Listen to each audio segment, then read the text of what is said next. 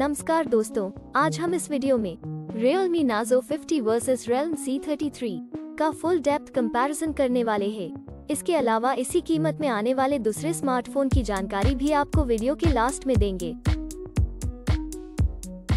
सबसे पहले बात करते हैं दोनों फ़ोन के डायमेंशन की। दोनों फ़ोन की लेंथ की बात करें तो दोनों फ़ोन में सेम ही। 6.46 इंच की लेंथ मिलती है। विथ की बात करें तो नाजो 50 में 2.97 इंच जबकि रियल Realme C33 में 2.98 इंच की विथ मिलती है, जो कि सेम जैसी ही है।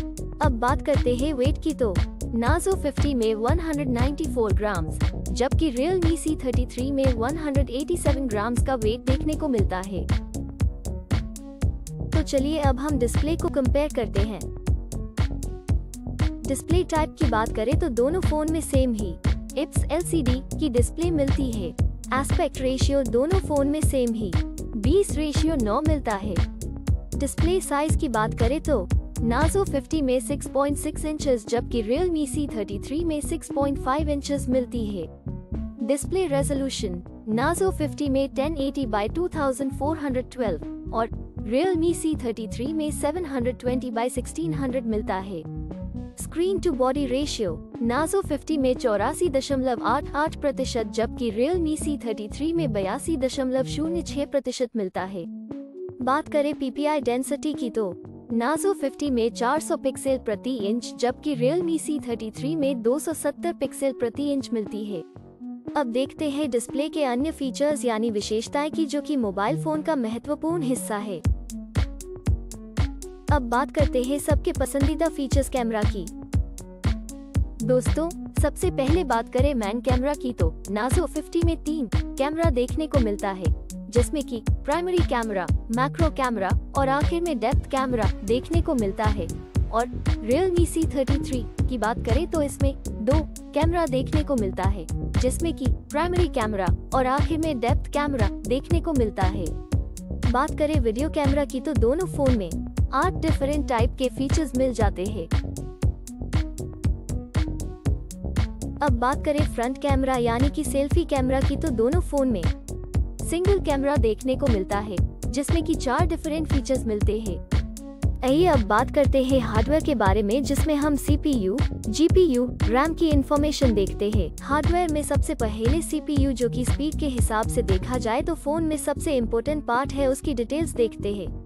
जीपीयू की बात करें तो नाजो 50 में Mali G fifty seven M C two जबकि Realme C33 में Mali G fifty seven M P one मिलता है। चिपसेट की बात करें तो नाजो 50 में MediaTek Helio G96 और Realme C33 में Unisoc T612 मिलता है। बात करें रैम की तो नाजो 50 में दो वेरिएंट देखने को मिलता है।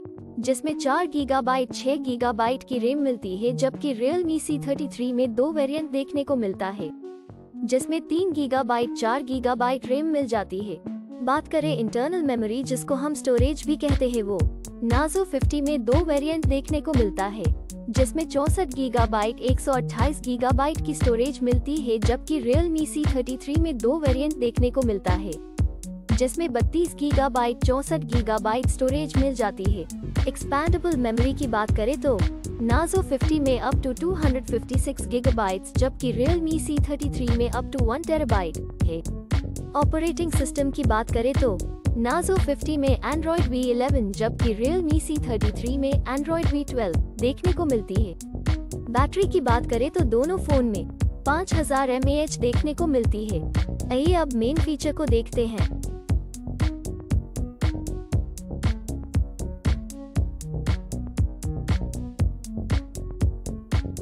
कलर्स की बात करें तो नाजो 50 में दो कलर्स, जबकि Realme C33 में तीन कलर्स ऑप्शन मिलते हैं।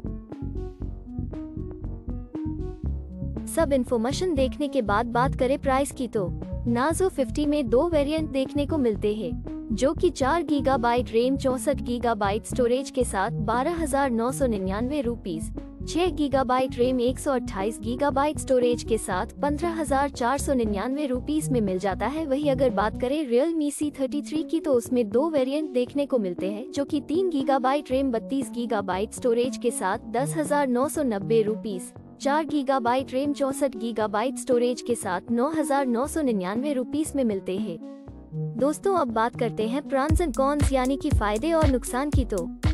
दोनों फ़ोन में सात फ़ायदे और एक, नुकसान देखने को मिलता है।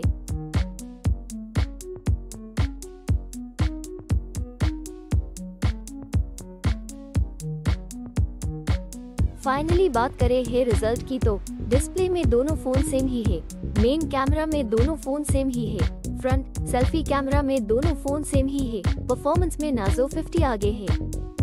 दोस्तों, अब हम सेम प्राइस में आने वाले दूसरे फ़ोन को भी देख लेते हैं। पहले कॉम्पिटिटर फ़ोन की बात करें तो उसमें नोकिया जी ट्वेंटी वन है, दूसरा सैमसंग गैलेक्सी ए फोर है, तीसरा iQOO Z six five G है और लास्ट कॉम्पिटिटर फ़ोन की बात करें तो उसमें Samsung Galaxy F twenty three five G है। और ये सारे फ़ोन की डिटेल्स आपको डिस्क्रिप्शन में मिल जाएगी।